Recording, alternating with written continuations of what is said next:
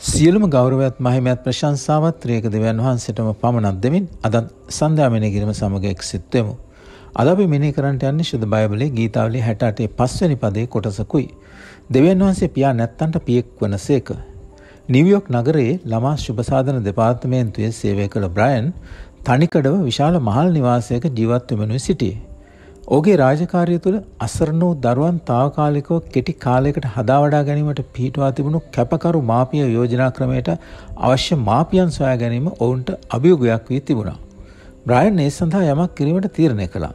ඒ ගැන හැකි පමණ යමක් කළ යුතුය තීරණය කළ වූ කැපකරු මාපියෙක් ලෙස එම යෝජනා ක්‍රමය හරහා අසරණ වූ දරුවන් තාවකාලිකව හදාවඩා ගැනීමට දායක වෙන්න පටන් ගත්තා.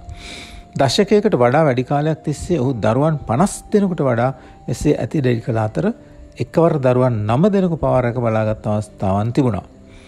ඔහු කිව්වේ මම හැරී බලන සෑම අවස්ථාවකම හදා වඩා ගන්නට අවශ්‍ය වූ දරුවෙක් සිටියා යනුවෙනුයි. ඔහු නිතරම කිව්වේ ඔබේ නිවසේ සහ සිතේ ඉඩක් ඇත්නම් ඔබ එය කරන්න. ඒ ගැන වැඩිය හිතන්න එපා යනුවෙනුයි. හැදී වැඩි තමන්ගේම ජීවිත ගොඩනගාගත් මේ හදා වඩාගත් දරුවන්ට තවමත් බ්‍රයන්ගේ මහල් නිවාසයේ යතුරු තියෙනවා. ඔවුන් බොහෝ විට ඉරිදා දිනවල දිවා ආහාරය සඳහා තම කැපකරු පියා බැලීමට පැමිණෙනවා. බ්‍රයන් ඒ හැම දිනටම පියෙකුගේ ප්‍රේමය දක්වා තිබෙනවා.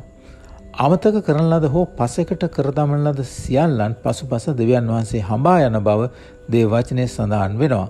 සමහර ඇදලිවන්තයන් මේ ජීවිතය තුළ අනාථභාවයටත් අවදානමටත් ලක් වී සිටියත් උන්වහන්සේ ඔවුන් සමග සිටීමට පොරොන්දු වී තිබෙනවා. ගීතාවලේ 68 පස්වෙනි පදයේ දෙවියන් වහන්සේ පියා නැත්තන්ට පියෙක් වන බව සඳහන්ව තිබෙනවා. නොසලකා හැරීමක් හෝ ඛේද වාචකයක් කරන කොටගෙන අප තනිව සිටින්නේ නම් දෙවියන් වහන්සේ අප වෙත ළඟා වෙමින්ද අපව ලං කර ගනිමින්ද අපට බලාපොරොත්තුවක් ලබා දෙමින්ද දෙවියන් වහන්සේ තවමත් එහි සිටිනවා. ඇත්තෙන්ම දෙවියන් වහන්සේ හුදකලා වූවන් පවුල්වල වස්වන බව හයවැනි පදයේ සඳහන්ව තිබෙනවා. යේසුස් වහන්සේ තුළ අනෙකුත් ඇදිලිවන්තයන් අපගේ ආත්මික පවුලට අයිති වෙනවා. අපගේ අභියෝගාත්මක පවුල් කතාන්දර අපගේ හුද කලාව අපෝ අත්හැර දමා තිබීම හෝ අපගේ දුර්වල වූ සම්බන්ධතා කුමක් වුණත් අප ප්‍රේමය ලබන බව අපට දැනගන්ට හැකි. දෙවියන් වහන්සේ සමග සිටින අපි තවදුරටත් පියා නැති දරුවන් වෙන්නේ නැහැ. අපි මෙනෙහි කරමු. අප ප්‍රේම කරන කිසිදා අපවත් නොහරින ස්වර්ගික පියෙක් සිටින්නේ යනුවෙන් අදහස් කරන්නේ කුමක්ද?